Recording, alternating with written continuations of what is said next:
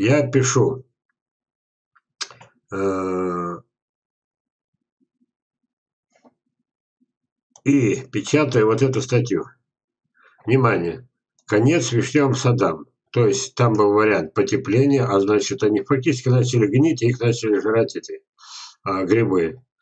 Совпали два события. Съездил на Московскую международную конференцию, получил неожиданный подарок от семи потомственных агрономов Перепчука. Это важно, это такой раритет. Вы сейчас особенно обращаюсь к старикам, но старики, я имею в виду садовые старики, не по жизни.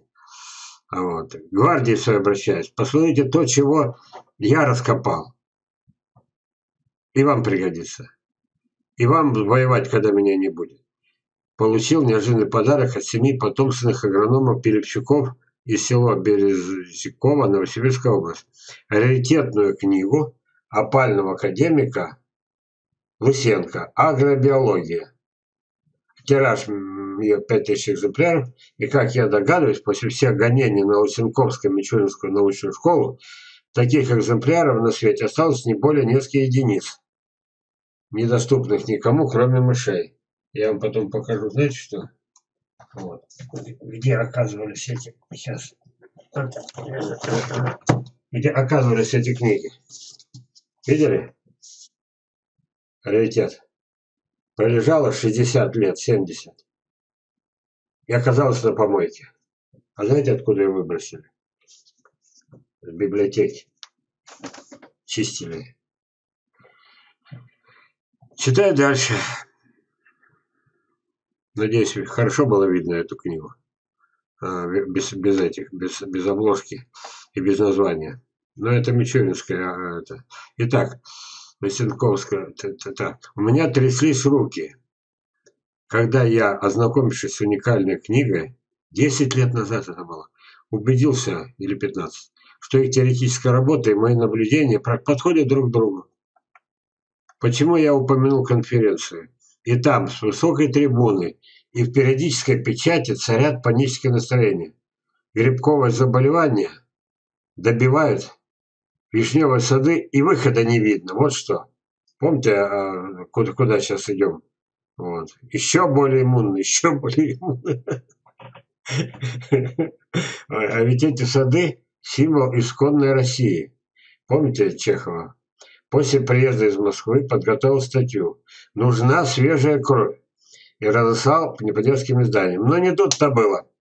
После моего критического доклада я стал неугоден. И мои мысли, и выводы тоже. Я-то вначале думал, что никто этого не заметил. Включили микрофон, и все, и свободен. Нет. Вот. Главное из них – болезни, мои выводы. Болезни одолевают только ослабевшие или вырождающиеся деревья.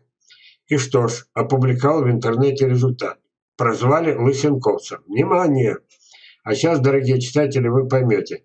Надо гордиться этим званием или застрелиться. Там мне оружие стоит. Сейчас, я помните, говорил, полмиллиона будет, если проголосует не за меня, вот, возьму ружье и застрелюсь. Я очень самолюбив. Вот оно, в сейфе. Цитата из агробиологии. Внимание! Дарвин пришел к выводу, что сорта самоопылителей практике благодаря самоопылению не выдерживают длительной культуры. Они ухудшаются, вырождаются. А теперь Железов, который до всего доходил сам, что он э, рассказывал и как говорил. Самоопыление – это вырождение. Было? Было. Выход был? Был. Я назвал. Значит, пусть один персик будет плодоносить и, и ломиться от персиков. Так. А вы все равно посадите второй, третий, четвертый, другого сорта, третьего сорта или того же сорта, но на разных подвоях. Для чего? Ну, подробнее говорить сейчас не могу. Вырождаются. Так, слово сказать, гениальному ученому Дарвину отношение за последние десятилетия изменилось до противоположного. Это он виноват во всех бедах, постигших человечество наряду с Марсом. Так. А еще есть ссылки на президента, Мичурина, Тимирязева. Но дело в том, что это не авторитеты как бы. Слушайте дальше. Дальше я предлагаю скрестить сибирским родственникам, а их кто-нибудь скрещивал, мне вот это до сих пор я понятнее. Ко мне никто не обращался. А они как там живут у себя. А еще ему не, еще ему не, еще ему не. А садов-то в России нет. Посмотрите, что такое сад. Еще раз, как он шел в Россию. Начинал, конечно, с самых-самых югов. У него есть одна особенность. Где-то когда-то, в отличие от черешни, которая отводков не дает, вот, э, так же, как яблоня, груша разделились от общего предка, абрикос, слива разделились. Каждый, почему? Не, не нарочно. Вот. Вот в одно было способность там какая-то, там атовизм или там это, к чему-то. Он выжил в суровых условиях, а и даже более того, прежде чем сгнил у него центральный корень, он уже успел дать какой-то боковые корешки. Раз, раз, раз. Вот. Это случилось с яблоней, это случилось с сливой и вишней. В том числе вишни. И вот когда-то вишни, их привозили, ну, допустим, Украина и Россия, это для меня одно и то же. Уж извините, господа националисты, и те, и эти. Вот. Значит, попала на Украину, а фактически уже в Россию. Сами знаете половину украинских городов кто заложил.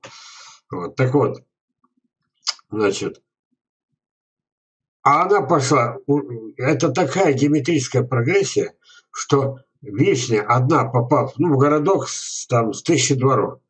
Я вам говорю, это, это самое, у меня пятерка по математике, я победитель э, этих школьных олимпиад. Значит, через 10 лет, не через 100, весь город на тысячу дворов будет в этой вишне везде будет расти. Это такая жуткая вещь в геометрической прогрессии. Так? Вот. Одна дала 10 отводков, 10 отводков дали 100, 100 дало это самое. Нет, не тысячу, 10 тысяч. Поняли? И вот получилось все. Что у них есть недостаток? Ребята, почему про это не пишут? Причем тут потепление? Они все родственники. У них есть одна особенность. Они все равно опыляют друг друга. Почему? А у них она не должна друга. Персик одной, ой, извините, если повторяюсь, персик на одной должен совпасть в цвете, э, во время цветения с полным созреванием тычинки на другой.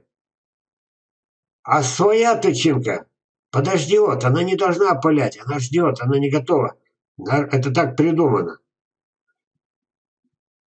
Получается, что один за домом посадили в тени, другой с другого боку дома, там солнца больше, и все сходится. Даже один сорт, все, прошу прощения. Все знают, кто у нас главный лекарь. Помните, как я говорю, это моя любимая шутка, хотите? Я не, сегодня будет несколько анекдотов. Один из них так. Вот. Самая эрогенная зона у мужчины – это кошелек. Вот. Ну ладно, поняли шутку. И вот что получилось. То, что вы видите, это откровение. Я, дойдя до всего сам, увидел вот это вот, что оказывается-то мы с этим самым, я, я не могу себя равнять да, с Мичуриным или Лысенко. Они гении, а я как бы металлург какой-то. Поэтому сложно. Ну, по крайней мере, вы понимаете, я сейчас расшифровал хотя бы то, что было известно с 19 века. Ну, наверное, это и он, ну, ну, Дарвин, на Дарвина ссылка, на Дарвина. Нужна сибирская кровь. У нас они не болеют, вообще нам это не знакомо. При любых морозах, никаких грибов, никаких пропуска урожая. Понимаете? Это феномен, о котором я рассказываю 20 лет – а там стон идет. Я же слушал этого человека, который, я не помню кто, доктор, кандидат, доцент. Он выступал с той же самой трибуны, где мы микрофон включили. Мне микрофон отключили за то, что я назвал вторую причину. Бесконечное калечение деревьев. Они ослабевают. И тогда на них начинают портиться листья, и тогда грибы. И никто этого понять не может. И, ну, ну, так сложилось. Раз – вот. А меня отключили. А он после меня выступает, а грибы все а грибов все больше. Вот. А грибы все это самое, что, зубы вырастают лишние у грибов, я не понял. Вот. И сказав все это, уйти с трибуны, и все. А я говорю, две причины. калечить деревья не будем? Все Подмосковье, что я видел, я был в сотнях садов, я шел от сада к саду. Я не заходил внутрь. Меня несколько человек пригласили, слух прошел, сибирский авторитет приехал. Ну так, пожаловаться, это, до верхушек мох. Причем густой такой, они зеленые в мху. Понимаете? Сами уничтожили деревья, искалечили. Вот так вот. Чтобы ходить не сгибаясь, надо было отрезать 23 веток. Ну, естественно, что это что, я говорю, что те руки, ноги отрезать, то же самое. Не понимают. Но вы меня поймете. Вот. Эти полмиллиона, кто, надеюсь, скоро будет столько просмотров. Для этого я повторяюсь. Вторая причина – близкородственная связь. А, они должны опылять себя, но даже близкие родственники умудряются опылять друг друга. Я рассказал почему. Чуть создая разные условия, освещенность, например. Вот. Одно выше, другое ниже, если склон.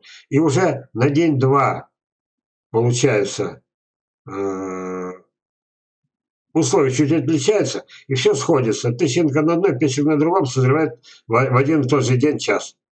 Все, ура. Но не отменить-то это так называемая бесхородственная связь. Не отменить, это инцест. Это деградация. Вот, пожалуйста, в следующий раз будете читать лекции. Меня же припечатали, Железов Лысенковец. Это говорит о том, что Лысенко, он как бы антигерой. На него нельзя ссылаться, на Лысенко. Надо говорить наоборот. Если здесь Лысенко написал, э, ссылаясь на Дарвина, да, само, само, самоопыление, благодаря самоопылению не выдерживают длинной культуры, они ухудшаются, вырождаются. Это значит неправильно, раз Лысенко. Запомните, всегда враги э, не. Даже когда они правы. Если в это он враг, он не прав. Значит, сейчас заставь, допустим, кого-то там из Тимирязева, Тимирязева, который я очень люблю, знаете почему. Вот. Заставь их вот это вот, они скажут нет. Почему? Потому что это сказал Лысенко. То есть все, что сказал идеологический враг, не подлежит сомнению, это все неправильно.